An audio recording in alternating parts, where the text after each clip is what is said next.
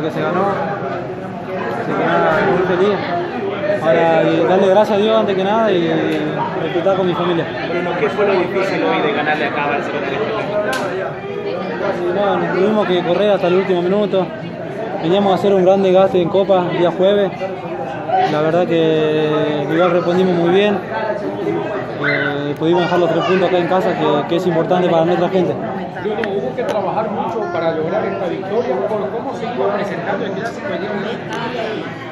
Sí, la verdad que sí, eh, se trabajó mucho, eh, siempre, bueno, a mí me tocó la primera vez jugar un clásico, y, pero bueno, eh, sabía que la magnitud de- del partido que se jugaba y gracias a Dios se pudo ganar y bueno, contento por eso. Este nuevo partido son muy fraccionados, lo vi por ahí en algunas pelotas disputando con Equipo Díaz. Un momento.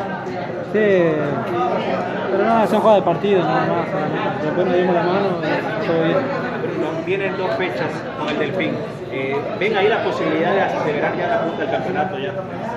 Sí, ellos vienen muy bien, la verdad que va a ser un partido muy complicado. Ojalá que, que estemos, que estemos- bueno, ahora vamos a descansar y ojalá que podamos llegar bien para ese partido, para ganar y agarrar la punta una vez por todas. Se tiene la tranquilidad pese a no marcar, pero el equipo está ganando, Bruno. Sí, no se me quiere dar gol, pero bueno, importante que Marlon también marcó, me pone muy feliz por él porque eh, también lo necesitaba y lo importante es que se ganó. ¿Sintieron que con esa expulsión era el momento clave para ganar el partido? Sí, la verdad que sí. Eh, bueno, con la expulsión eh, nosotros tratamos de mover la pelota y bueno, por suerte pudimos ganar. Bruno, importante clásico